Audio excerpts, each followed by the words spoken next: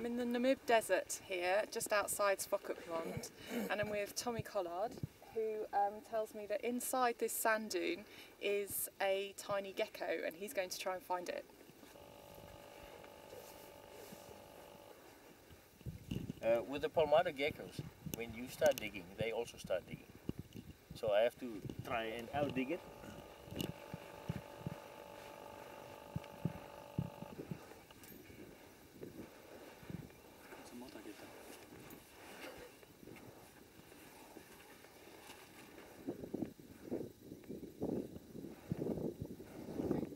I can see something. I can see two eyes. There you got it. Yep. Can you get it out?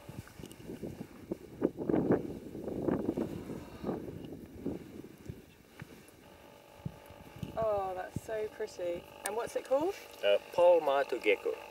And it's um, got very, very delicate skin. Very, very thin skin. If you touch it hard, it'll come off. They only move at night. And that's why they're totally transparent. They have no pigmentation.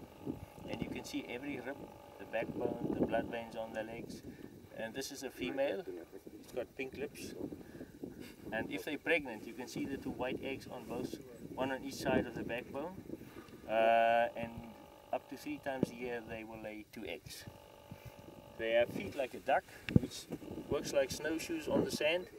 And they can't blink their eyes, so they have a long tongue and they lick their eyes. It's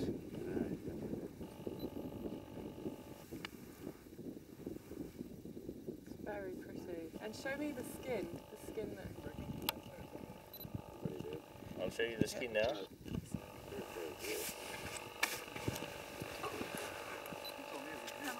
It's got a very, very soft Very skin. Look at that. It looks like a silicon baby, a jelly baby. Looks like you can eat them.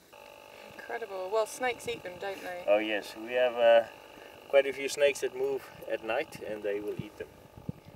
Uh, it's a, a good source of protein as well as moisture. Wonderful. Thanks, Tommy. Let's let him go.